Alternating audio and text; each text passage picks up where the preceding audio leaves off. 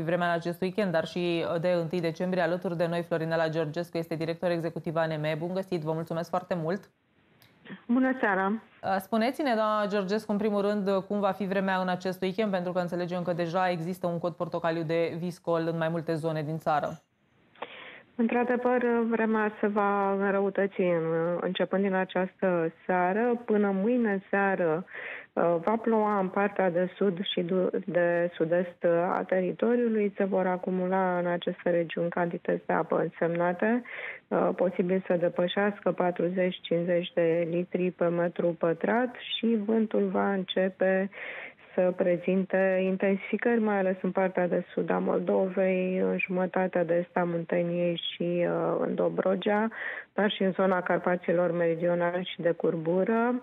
Uh, viteza la rafal uh, urmând să depășească 60 de km, 60-70 de km pe oră. În zona montană, deja până mâine seară, precipitațiile vor fi uh, mai ales formă de lapoviță și ninsoare, va fi visco și vizibilitate scăzută.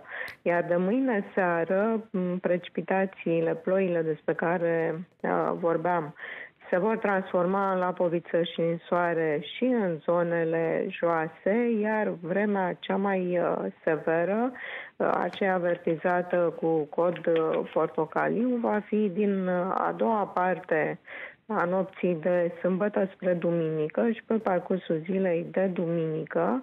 Uh, pe partea de sud-est a teritoriului apreciem că județele cele mai afectate uh, urmează a fi uh, Tulcea, Constanța, Vrancea, Galați, Buzău, Brăila, Ialomița și Călăraș și județe în care Uh, va ninge, va fi viscol, pentru că așteptăm intensificări susținute ale da. vântului, care la rafală să depășească 70-80 de km pe oră. De 1 decembrie, cum va fi vremea dincolo de paradă, multă lume își ia așa o mini-vacanță.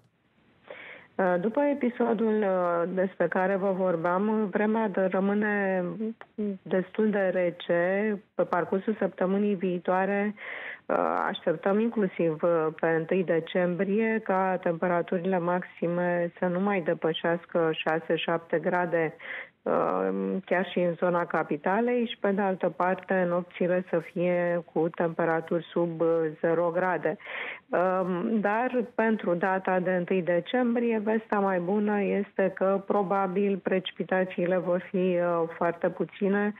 Sperăm ca în zona Bucureștiului chiar să lipsească.